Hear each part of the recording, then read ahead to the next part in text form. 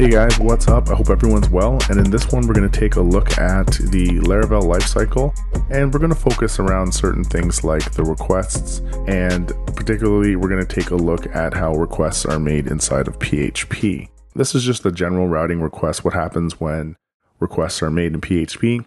So there's a request made to a web browser by a client, and that request then goes to a server, either Apache or Nginx, which is a web server and from there, uh, there is some PHP code that is executed, and that's done by the PHP interpreter.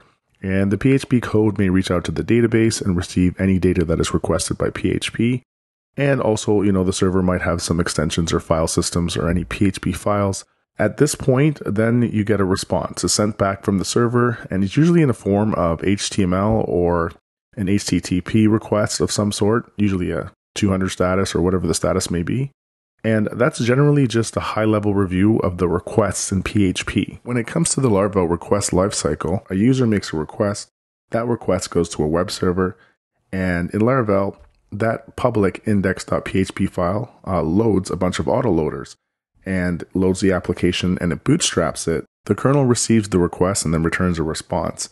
And after that, the service providers are registered after they have been booted, get dispatched to a router, then from there, the router does any logic that hits up in the controllers, and from there on, it's rendered to a view and the response is returned. Uh, the key to Laravel lifecycle is bootstrapping service providers and registering them are pretty much the key to creating your Laravel applications. So keep that in mind. Once again, this is a high level overview of how the framework works. Uh, the entry point, once again, I want to stress starts at the index.php file. We load autoloaders. Uh, we then jump into the instance of the application we flow through the kernels and then iterates over a list of providers. We hit routes, controllers, any middleware that we put forth in our logic, and then we return a response. So we're going to take a look at this just through the project, kind of get you an idea where things are and how it flows through a Laravel project. Okay, guys, so here we are at the starting point of the Laravel application. So I'm in the publics directory, and in that, I'm looking at the index.php file. So uh, this little area here is basically if your application is up or in maintenance mode. So if you ran like a PHP artisan up or down, uh, it'll display or render the correct um, you know contents uh, before it actually starts up the application.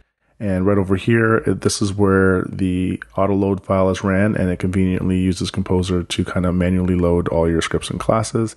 And down here, um, this is where things get bootstrapped. So basically, um, there are two types of kernels, and we're going to take a look at them. So depending on the type of request um, that is made, this will be handled by either one of the two kernels available. So that kernel file is found inside of the HTTP folder in the apps directory, and here's the first one. This is the app.http kernel, and the other one is the console uh, kernel, and we'll just go over them really quickly. So basically inside of this kernel, we have uh, middleware that is run on every request inside the application. And down here, we have middleware that's run on routes, uh, depending on they're group routes or route groups. And uh, down here at the very, very bottom, we have middleware that may be assigned to groups or used individually. So this HTTP kernel inside of the app directory um, handles a lot of the middleware work. So here inside of this console kernel, we take a look at things like commands. So if you wrote any special or unique uh, PHP artisan commands. And this is where that gets taken care of in this central part of the application. You'll also see things like around queue jobs here that are processed, um, any other uh, schedule jobs or anything like that. Um, you know, gets kind of handled by this kernel. And once again, this kernel uh, functions around middleware, any kind of sessions or CSFR tokens or things like that. And it handles any response methods that simply come into this request and then it returns a response. So once everything has been uh, loaded and bootstrapped and the kernels are doing what they're supposed to do and, you know, making the appropriate requests and responses, then we move on to uh, service providers. And you'll find your service providers over here under providers. So we're in the, you know, app directory and uh, we're in the folder called providers here. And I just opened this up.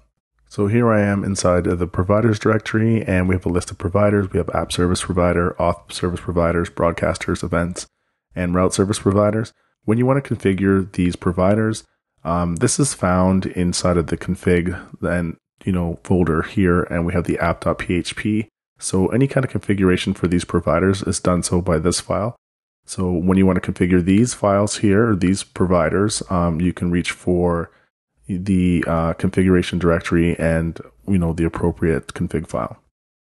So I guess the main thing to keep in mind here is that various like components and Laravel features are set up by the service providers. So once again, just think of it like this is where um, things such as database, queues, validation, route components, and any other major feature offered by Laravel is set up by these uh, providers over here.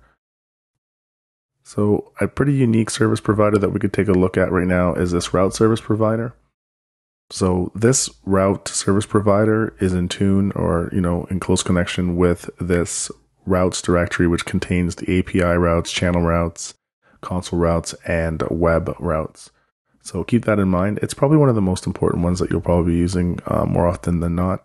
And it's fairly interesting because you can wrap middleware around these uh, route providers. So you could have a route that has a middleware group and, you know, you can have a controller that has a middleware group. So uh, this one does another layer of middleware depending on what route process that you're using and adds a little more control or fine grained control to the routes process using this route service provider. So once the application has been bootstrapped and the service providers are all registered and booted, the request will then be handed over to the router for any kind of dispatching.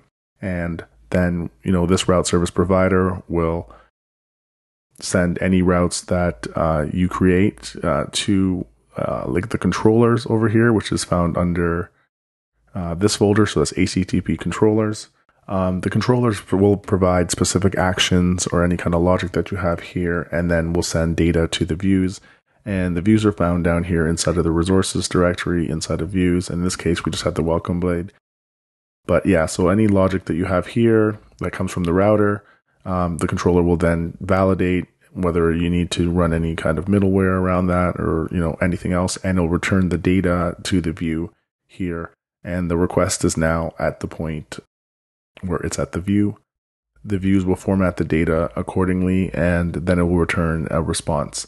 I know that's a lot of terminology, um, and we went over it fairly high level, and I tried to show you just a little bit of how this works through, you know, the actual project, so you can be familiar where you know key components and things are reaching for certain services or certain, um, you know, logic and uh, middleware in order to get that request uh, turned into a response and then validated and sent back to a view. You can find key points in the lifecycle to run any specific logic or, you know, find out where a service is uh, coming from and what it's doing or how to add a new service or, you know, update a service or add any kind of functionality to your project.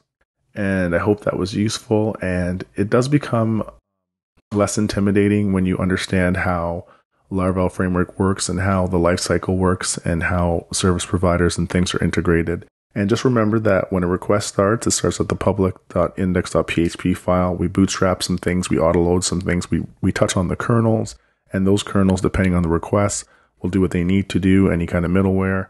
And then we hit the service providers, and then we dispatch that request to a router. And then if there's any more middleware or anything else that we need to check for, then that will go to uh, a controller and then the controller will send it off to a view and we get a response and this pattern just repeats okay? So don't forget to like subscribe let me know your thoughts below hit the notification bell. I will see you guys in the next one. Take care. Until next time